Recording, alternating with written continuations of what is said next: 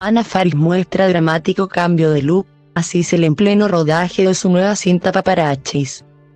No hay forma de que no llamen la atención. Las caracterizaciones decididamente asombran a todos porque, en gran medida, implican una transformación física. Muchos actores se someten a meses de trabajo. Todo para llegar al personaje en cuestión. Puede que Ana Faris no haya estado tanto tiempo maquillándose, de todas formas. El abundante maquillaje oscuro y el cabello corto mojado hicieron lo suyo para que el cambio en su rostro sea dramático. Así fue captada por los paparachis.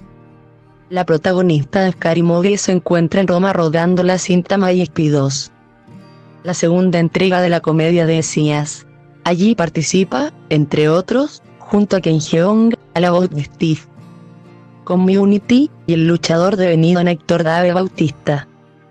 Durante un alto de la filmación en la capital italiana, en algunas imágenes, se la vio a Faris muy sonriente junto a Jeong. A diferencia del ex de Chris Pratt, el también médico de 53 años no pareció haber sufrido demasiadas modificaciones en su aspecto.